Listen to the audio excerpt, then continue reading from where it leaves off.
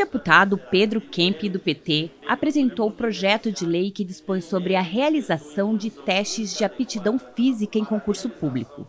De acordo com a justificativa da proposta, a banca examinadora deverá disponibilizar para a realização do teste físico profissionais da área da saúde e unidade de terapia intensiva móvel, aptos para pronto atendimento de emergência. Além disso, os editais devem conter critérios de desempenho mínimos diferenciados para homens e mulheres, conforme aspectos fisiológicos e etários devendo ser observados as atribuições do cargo ou emprego. Outro ponto abordado é o horário adequado para efetuar os testes físicos, hidratação e vestuário adequado. A iniciativa foi apresentada pelo parlamentar devido à última fatalidade que ocorreu em Campo Grande durante as provas para o ingresso no Corpo de Bombeiros e na Polícia Militar de Mato Grosso do Sul, em que um candidato veio a óbito após passar mal, Conforme noticiado, o candidato realizou a prova por volta das 12 horas, num dia em que a sensação térmica estava por volta dos 37 graus e umidade em aproximadamente 15%, expondo os candidatos à exaustão extrema. Este caso nos remete a uma reflexão sobre esses TAFs que são realizados aqui e em outros estados.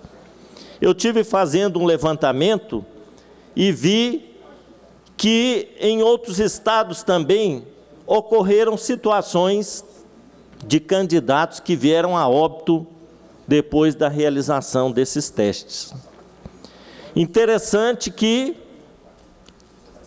este jovem faleceu e no outro dia houve a continuidade dos testes nas mesmas condições que foram realizadas no dia anterior onde mais cinco candidatos passaram mal, tiveram que ser atendidos. Ao todo, na realização desses testes agora recentes, nós tivemos 20 candidatos que passaram mal e foram socorridos pela ambulância. E um, infelizmente, veio a óbito. Portanto, meus amigos, nós não podemos, não podemos é, admitir que o TAF, teste de aptidão física, se torne um teste de sobrevivência, para ver quem morre e quem sobrevive. Você quer ser um policial militar? Você quer ser um policial civil, um, um bombeiro, você vai passar por um teste para ver se você sobrevive. Não, não pode ser assim.